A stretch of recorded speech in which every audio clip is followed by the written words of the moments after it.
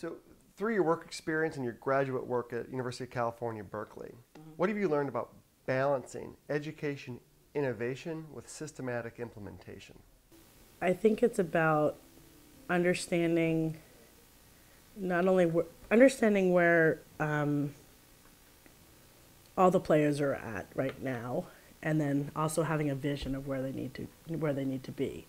Um, so, for example, um, systematic implementation could be um, a school goes into program improvement because of No Child Left Behind. They didn't meet adequate yearly progress, and so um, one of those one of the stipulations for systematic implementation is that uh, schools must monitor progress of the students to see how they're going to do on the large scale assessments.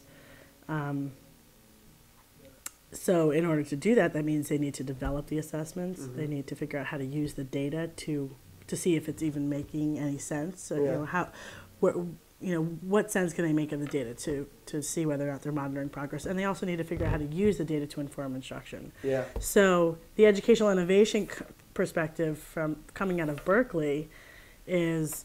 it definitely is a Berkeley mantra, I think, in terms of from education is we need to learn to use assessments as a lens to understand how students are thinking and not just as a lens to evaluate teachers or to evaluate how students are doing. So rather than as a uh, rather than to look at assessment as a, a mastery learning experience, it's more of a diagnostic and a formative assessment. So one of the places I start with teachers, for example, in terms of the systematic implementation and bringing in the educational innovation, is trying to figure out where what they're comfortable with. What kind of data are they comfortable with and how much data can they handle in a one hour meeting? You know we're going to sit down we're going to have a data team meeting and what's manageable to have a conversation about? I feel like the conversation should focus on what i need to teach tomorrow. Yeah.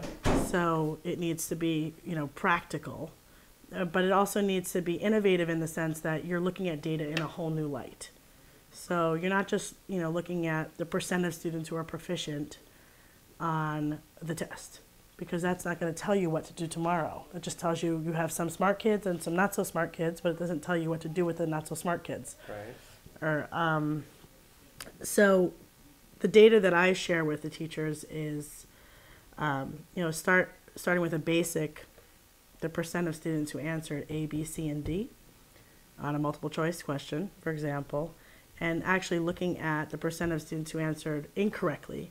I try not to even show them the data right away. I have them kind of predict what they think students are going to choose. Right. Have them do a cognitive lab and think aloud as they solve the problem themselves, and then and then they look at the data and we call the data an attractive distractor.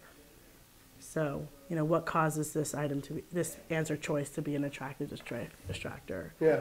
So that's sort of a, a way into thinking the innovation piece being using assessment as a lens to understand student thinking, and the systematic piece is using assessment to uh, monitor progress towards student outcomes in the large scale assessment to try to kind of marry those two ideas so that it really influences the classroom experience for students and influences how teachers understand how students are thinking.